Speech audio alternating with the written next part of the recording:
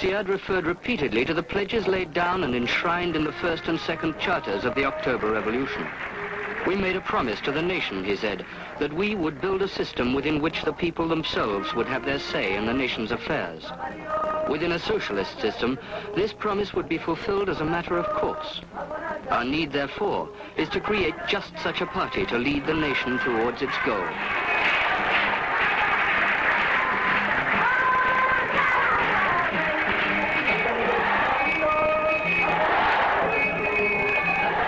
President, the Minister of Education spoke of the great strides forward taken in his sphere since the revolution seven years before. He cited the first ever printing of books in the Somali language, the rapid growth of the school population, the national campaign against rural illiteracy. The vice president compared today's achievements by the various state departments with the demoralizing stagnation of the nine years between the gaining of national independence and the October Revolution of 1969. The Minister of Commerce spoke of the enormous growth and investment in the country's agricultural and light engineering industry. The Minister of Information spoke of growing national and international awareness of and respect for the country and its present achievement.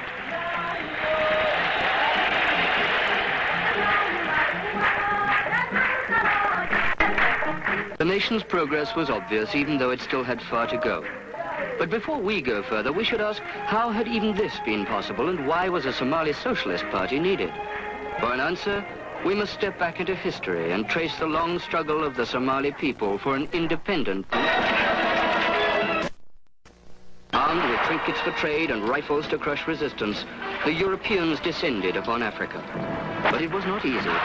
There was resistance. These centuries of piecemeal European exploitation led to a violent scramble for Africa. At Berlin in 1888, these quarrels were ended in formal partition treaties.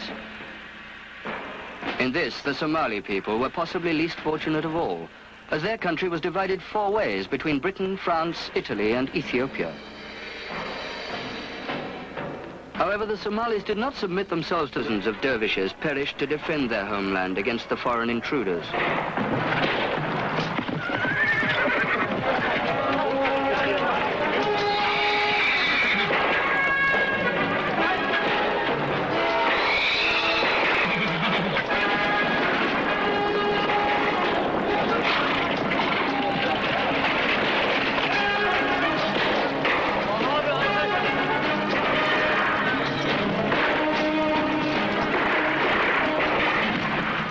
Sayyid Muhammad's many poems record both his victories and defeats.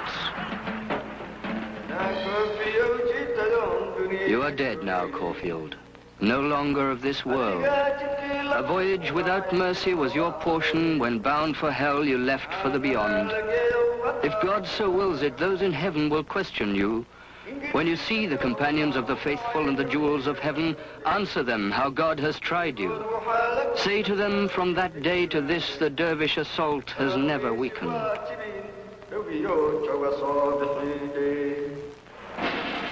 Nor, as his poems show, did Sayyid Muhammad lack the courage to admit his defeats. Here, he complains at his countrymen's failure to join with the dervishes, warns them of the subtle tricks of colonialism, and concludes that his past victories and present setbacks are no more than the natural ups and downs of life itself.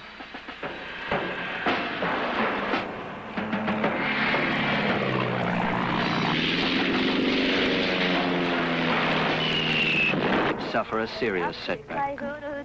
The years between 1922 and 1943 allowed the colonialists to settle down and rest. Now his prophecy of colonial evils came true.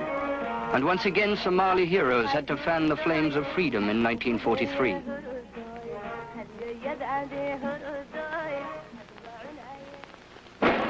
On the 15th of May, 1943, 13 youths formed the Somali Youth League. They struggled 17 years for freedom, both on the battlefield and in the political arena. Finally, on June the 26th, 1960, Britain withdrew from the Somali Protectorate. And on the day the Italians left, July the 1st, 1960, the Somali Republic was declared with 5 million people and a land area of 262,000 square miles. The longed-for day of freedom had dawned at last. But what would it bring? Political independence was won, but the colonial masters still lingered in the wings. The dream of national unity was shattered by the intrigues of countless rival political parties. The country, with its 2,000-mile coastline, was left undeveloped. Neither the resources of the sea nor those of the land itself were put to use. While the politicians wrangled, exploiting public funds and foreign aid, the people awoke from their dream of independence to a reality closer to nightmare. And the politicians' answer to their complaints yet more political parties.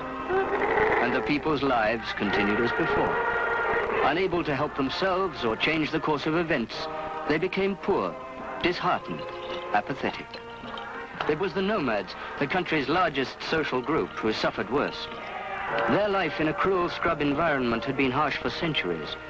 To them, independence had promised a golden age of water and green pastures. Yet independence had come and brought them nothing. No change at all.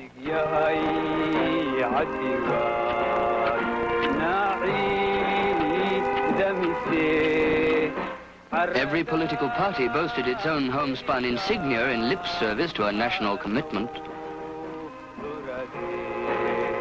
But in the pitifully few schools of the country, the language and cultures were still foreign, English or Italian. Debate raged over when and how Somali language and culture could be introduced, yet it remained only debate. Serpente, Serpente. sedia, sapia, sapone, serpente, Serpente. sedia, sapia, sasso. By now, Somalia had almost 90 political parties. At the March election of 1969, 74 of them put up 2,214 candidates to contest 123 parliamentary seats. Just how absurd this system was can be seen in the small town of Buleburde, where a total of 26 parties contested the 1969 election. Some 38,000 people voted, and of these, only 18,000 voted for successful candidates, leaving a 20,000 majority unrepresented, leaving their livestock and belongings behind to come and vote, often for men of their clan, men who offered them the earth, who bribed them, men of whose political ideals they knew little and understood less. In both the 64 and the 69 elections, one piece of outright deception to secure votes for the now corrupted SYL government and contradictory ballot system, an illiterate nomad girl like this, pressed to come in and vote, can easily be excused in her bewilderment for crossing out the entire voting paper with all its parties.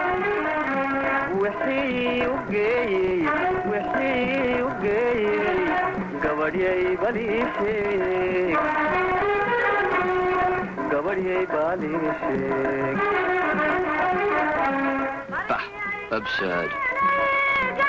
Many other ways were found to cheat the people of their votes.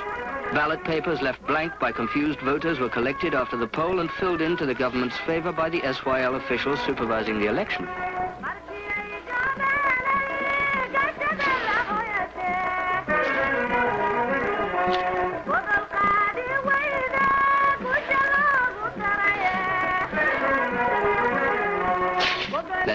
Tricks. Extra fingerprints, even fictitious names could be added to the government poll. Nobody would check.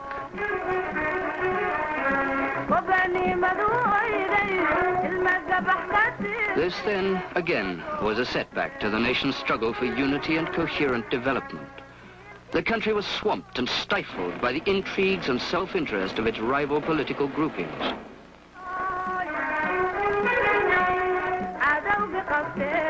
And so the results of the 1969 election. The SYL won 73 seats. 26 other parties won 50 seats between them, but of these, 49 joined the SYL after a month in the hope of obtaining ministerial posts. Today's vote is tomorrow's history. Their headlines blazed. But what tomorrow? Self-interest was king now, and corruption and violence ruled as law and order broke down.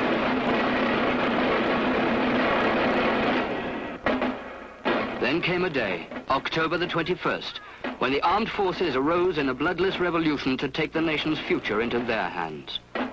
On that same day, they dissolved all political parties and issued the historic first charter of the Somali Revolution.